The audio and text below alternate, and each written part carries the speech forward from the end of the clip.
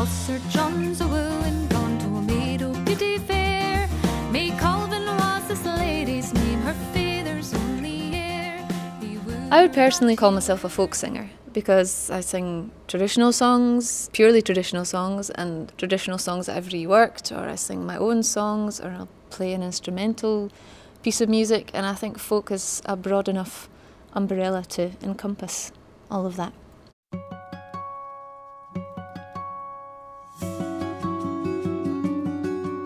One Christmas, my parents gave me a wee accordion My accordion was my ticket into ceilidh bands and things like that and from then on got very heavily involved in traditional music. When I was in an accordion orchestra, my accordion teacher decided he wanted a singer to front the band as well and somehow that became me. And the echo mocks the among the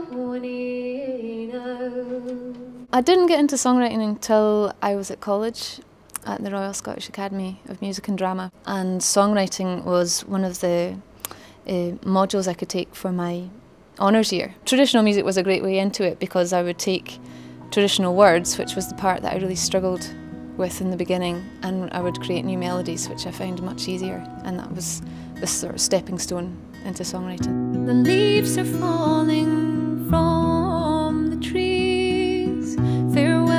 Now, warm summer breeze.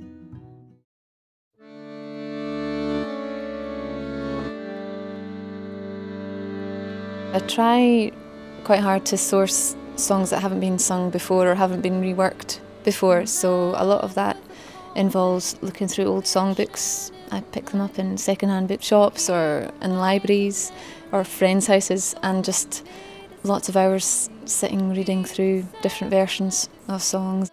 I'm quite passionate about doing songs from my home region in Dumfries and Galloway. Come home, pretty bird, you've been too long away. The new album is called Too Long Away, which is one of the lines from one of the songs on the album called Come Home, Pretty Bird. For me, this album was very much a homecoming. It's the first one that I've made having moved back down to Dumfriesshire and it's where my roots are. I like local history. I like to be able to go and visit the spots where something took place or imagine what event happened there. And I think that's why I'm really drawn to always thinking, gosh, here's a ballad, but I wonder if there's one with a similar version situated geographically in Dumfriesshire.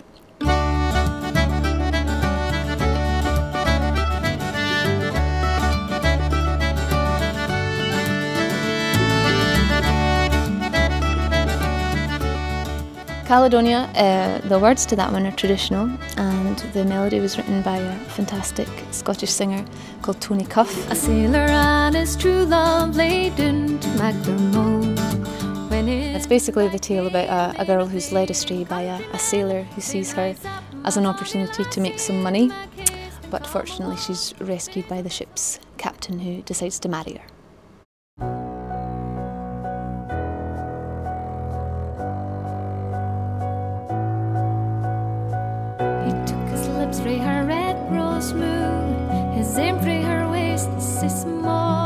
Mermaid of Galloway is obviously a, a, song from Dumfries and Galloway. The words were written by a man called Allan Cunningham hundreds of years ago and at the time to get his song published he tried to pass the song off as being traditional because the, the song collector was only collecting traditional songs.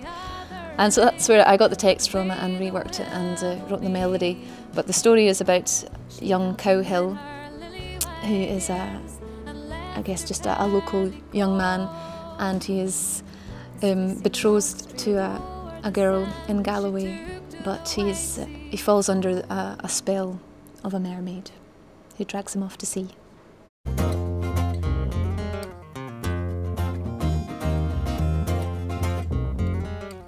Sir John's a wooing, gone to a meadow beauty fair.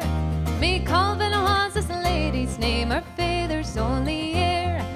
May Colvin is a very old ballad and it tells the story of a king's daughter called May Colvin who is um, pursued by Sir John, who turns out to be very false and has uh, evil plans for May Colvin, but she, she manages to outsmart him. So swift as May Colvin was, she pushed him in the sea.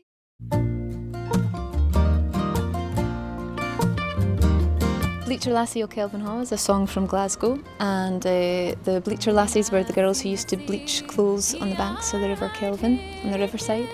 And the song um, is about a couple. The girl in the song is a Bleacher Lassie, and her man is a, a sailor, and he goes away off to sea for seven years, and comes back and uh, sort of chats her up. She doesn't quite recognise him at first, and so he tests her to see if she's remained true to him and uh, fortunately she has.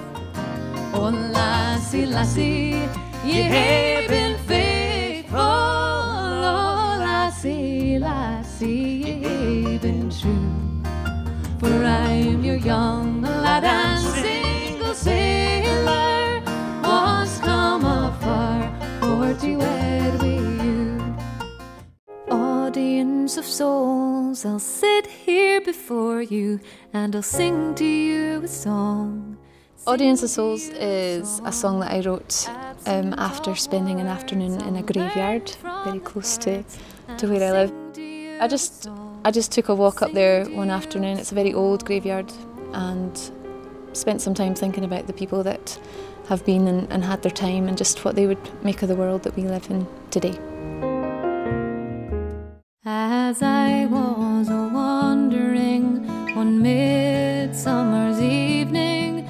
As I Was Wandering is a Robert Burns song, and um, I was drawn to that one because he had written it from a woman's point of view, being very well known for uh, admiring the ladies. I thought it was nice that he had paused to, to think about how a woman sees a, the side of a relationship, although she's, she's still been dumped in the song, but it gives her quite a, a positive outlook in that she, she decides she's not going to let this man break her heart.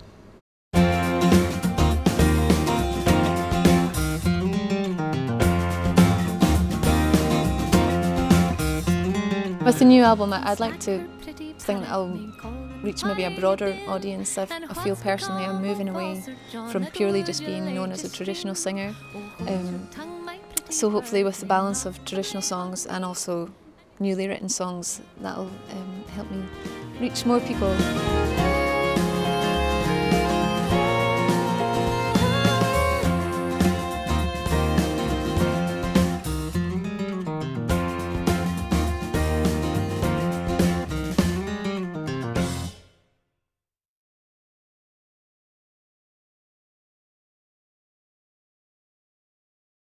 Sorry, that wasn't a very good answer.